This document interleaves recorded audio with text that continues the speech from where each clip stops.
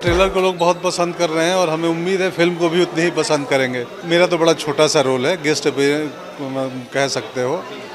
संजय भैया की फ़िल्म थी तो जैसे न्यूटन में उनका छोटा सा पार्ट था, वैसे ही उनकी फ़िल्म में मैं वापस छोटा पार्ट कर रहा हूँ। बट हाँ बहुत इंपॉर्टेंट है। कहानी को मूव करता है वो कैरेक्टर बहुत प्यारा है इंटरेस्टिंग है। मेरे लिए भी नया है, ऐसा मैंने कुछ रोमांस वोमांस किया नहीं था। तो वो अच्छी बात है। मेरे कुछ दोस्तों ने फ़िल्म देखी है। इंटरवल में कह रहे थे, यार टैक्स फ्री हो जाए, हर हस्बैंड को देखना चाहिए. नेक्स्ट डे पिक्चर देखने के बाद उनकी बीवियों का फ़ोन आया, क्या दिखा दिया है आपने इनको? ये तो चाय बना रहे हैं, सुबह सुबह पूछ रहे हैं, कोई गंदा कपड़ा हो आपका, धोने वाला तो दे दीजिए। तो अच्छा रिस्पॉन्स है लोगों का।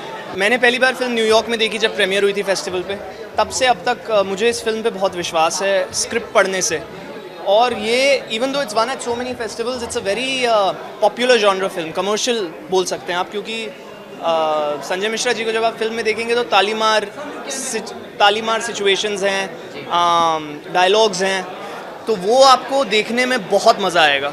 तो आज आप फ़िल्म फ़िल्म देखिए आपको पूरे फैमिली के साथ ऐसी क्लीन एंटरटेनमेंट वार्म एंटरटेनमेंट बहुत समय बाद मिलेगी और आपको मज़ा आएगा।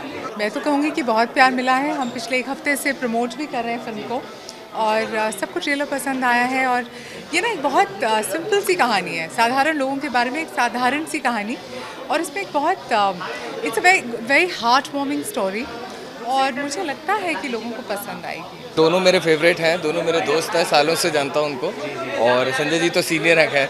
तो उनके साथ मैं ऑलरेडी एक फ़िल्म कर चुका हूँ तो और उसके बाद ये भी है और उनका जितना भी काम है आँखों देखी से लेके अब तक तो संजय जी की जो मेहनत है, जो इन्वॉल्वमेंट है, जो एक जो नए लोगों को प्रेरणा देने वाली एक एनर्जी जो है, वो वो बहुत कमाल की चीज़ रही है तो उसने काफ़ी कनेक्ट किया हुआ है हम लोगों को।